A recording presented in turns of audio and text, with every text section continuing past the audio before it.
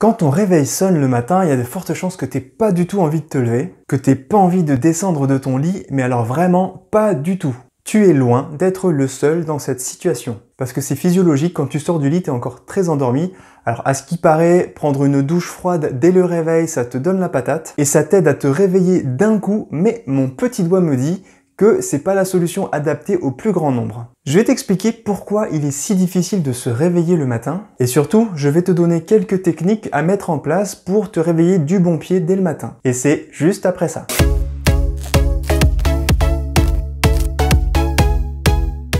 Salut salut, c'est Christophe. Je suis très content de te retrouver pour cette nouvelle vidéo. J'espère que tu vas bien. J'espère aussi que ce matin ton réveil n'a pas été difficile.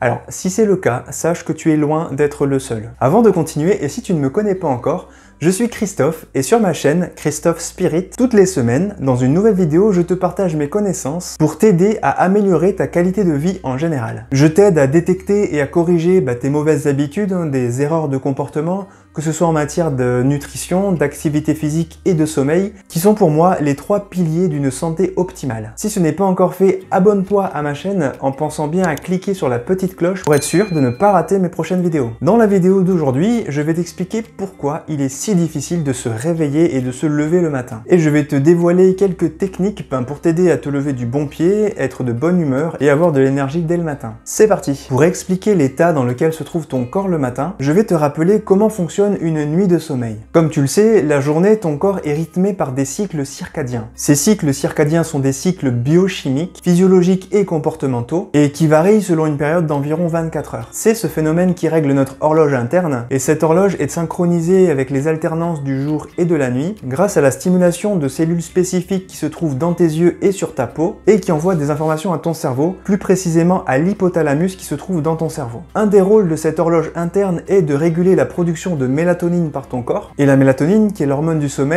a sa production qui augmente lors de la tombée de la nuit. En gros, plus on est dans l'obscurité et plus la mélatonine va être produite en grande quantité. Et du coup, au lever du jour, bah, la production de mélatonine commence à s'abaisser pour laisser place à l'autre hormone antagoniste qui est le cortisol. Le cortisol étant à l'inverse l'hormone de l'éveil. Voilà pourquoi la lumière influe sur la sécrétion de ta mélatonine et du coup elle influe aussi directement sur le fait que tu te sentes endormi ou pas. D'ailleurs la mélatonine est une hormone importante pour le sommeil, mais pas seulement, elle joue aussi un rôle important dans le contrôle de l'inflammation dans ton corps et aussi dans la perte de graisse. J'ai d'ailleurs déjà fait une vidéo sur l'impact du manque de sommeil sur la prise de poids. Je te mets le lien juste là et je t'invite à aller la regarder euh, à la fin de cette vidéo. Du coup, avec toutes ces explications, tu comprends que quand tu te réveilles le matin et qu'il fait encore sombre dans ta chambre, eh bien fatalement, tu vas pas te sentir réveillé tout de suite. Ensuite, il y a un deuxième phénomène qui peut expliquer ça, c'est que si tu te rappelles, j'en ai déjà parlé, une nuit de sommeil est découpée en plusieurs cycles. Ces cycles durent en moyenne une heure et demie. Et là je veux en venir, bah, c'est si le matin ton réveil sonne alors que tu es en plein milieu d'un de ces cycles, c'est-à-dire que tu te réveilles alors que tu n'as pas pu aller jusqu'à la fin de ton cycle d'une heure et demie, et bah, du coup ton corps et ton esprit vont avoir du mal à se réveiller efficacement. Et malheureusement, bah, on a tendance à empirer cette situation à cause de nos comportements bah, qui n'aident pas du tout notre corps à bien rythmer ces différents cycles, à cause notamment de l'omniprésence de lumière artificielle, hein, que ce soit les smartphones, les tablettes, les ordinateurs, la télévision, mais aussi le fait qu'on ne s'expose pas assez à la lumière du jour la journée. Parce que du coup, si tu es du genre à t'exposer massivement à la lumière artificielle le soir, eh bien tu vas contribuer à désynchroniser et à dérégler ton horloge interne. C'est le cas par exemple si tu utilises des écrans juste avant de t'endormir, mais aussi si tu pratiques une activité physique intense euh, très tard le soir, ou bien si tu travailles de nuit ou en horaire décalé. Du coup, cette désynchronisation qui s'installe entre tes rythmes biologiques naturels et euh, bah, tes rythmes de ton quotidien peut déjà engendrer des difficultés d'endormissement des troubles du sommeil, une somnolence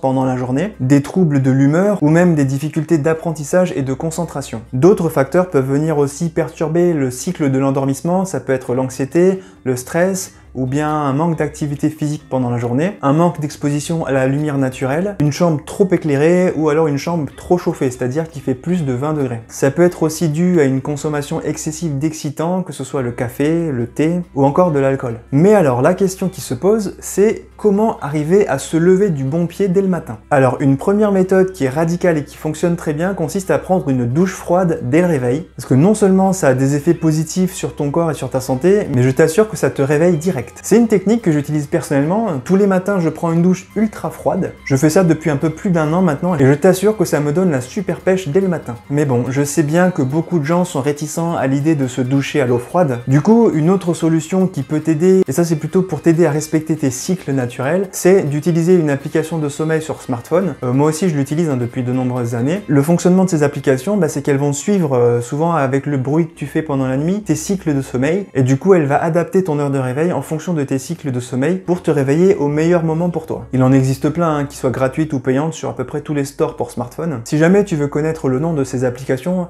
demande-le moi en commentaire et si j'ai beaucoup de demandes, bah, je te les donnerai euh, avec plaisir. Sinon, la troisième solution que je te propose, c'est d'utiliser ce qu'on appelle un simulateur d'aube. Alors comment ça marche et qu'est-ce que c'est? Donc le simulateur d'aube, c'est une lampe hein, qui a une lumière qui peut varier d'intensité de très faible à très fort et ça permet de reproduire les étapes lumineuses de l'aube. Et du coup, ce simulateur d'aube peut t'aider à te réveiller en douceur en préparant ton corps à se réveiller par la diffusion d'une lumière douce qui va aller en s'intensifiant au fur et à mesure. Du coup, si tu as des difficultés à te réveiller ou tu es plutôt du genre à ne pas aimer ton réveil, et c'est particulièrement vrai quand les jours deviennent de plus en plus sombres en automne ou en hiver, eh bien le simulateur d'aube peut être une bonne solution pour toi pour t'aider à te réveiller en douceur et naturellement. En fait, dans un premier temps, ça commence par une très faible lueur hein, qui s'apparente plutôt à la lumière d'une bougie. Ça pénètre tes paupières puis euh, le nerf optique. Et puis la lumière s'intensifie de plus en plus pour permettre à ton corps de sortir de son état de somnolence. Et enfin, l'intensité arrive à son maximum, ce qui permet à ton corps bah, de se réveiller calmement. Et du coup, ce type de réveil qui simule la lumière du jour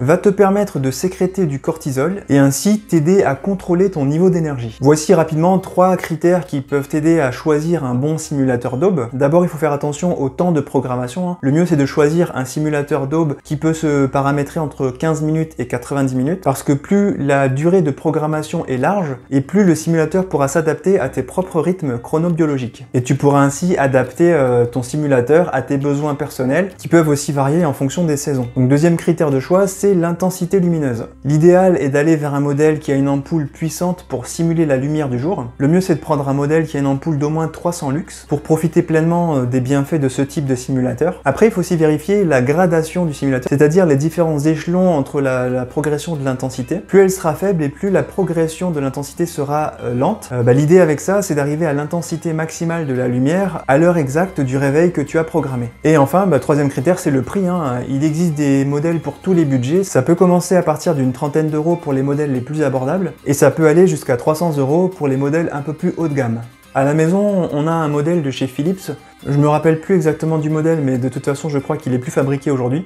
Bon, moi je l'utilise pas personnellement parce que je suis vraiment très sensible à la lumière et en fait quand je le mets, bah, je me réveille tout de suite dès que la lampe commence à s'allumer. Par contre, ça fonctionne très bien pour ma femme. Je te mettrai en description les références d'un modèle qui est plutôt abordable et qui a de très bons commentaires. Il s'agit du modèle TL850 de la marque Top Life. Je ne l'ai jamais utilisé personnellement, mais si jamais tu veux te pencher vers ce type d'appareil, bah, je te conseille de commencer par un modèle comme ça. Ce qui a l'air génial avec celui-là, c'est qu'il a un mode nuit noire qui permet d'éteindre complètement euh, l'écran d'affichage et te permettre de conserver une obscurité parfaite dans ta chambre. Et en plus, il a un rapport qualité-prix qui est vraiment très intéressant. Bon, je vais être totalement transparent avec toi, hein. ce lien, c'est un lien d'affiliation, c'est-à-dire que je vais toucher une commission si tu achètes ce produit par mon lien, mais tu n'as absolument aucune obligation de l'acheter par mon lien, hein. tu, es libre de l'acheter chez n'importe quel commerçant, moi ça me pose aucun problème. Donc pour résumer, euh, tu sais maintenant que tu peux améliorer l'état dans lequel tu te trouves le matin au réveil, pour te sentir plus réveillé, plus en forme, avoir plus d'énergie être de meilleure humeur. Pour ça, tu peux prendre soit une douche froide, soit utiliser une application smartphone qui va t'aider à te réveiller au bon moment par rapport à tes cycles. Et enfin, tu as la possibilité de programmer un simulateur d'aube qui te permettra d'avoir un réveil plus en douceur, sans le côté brutal de la sonnerie de ton réveil le matin. C'est aussi un outil intéressant hein, pour réguler ton horloge interne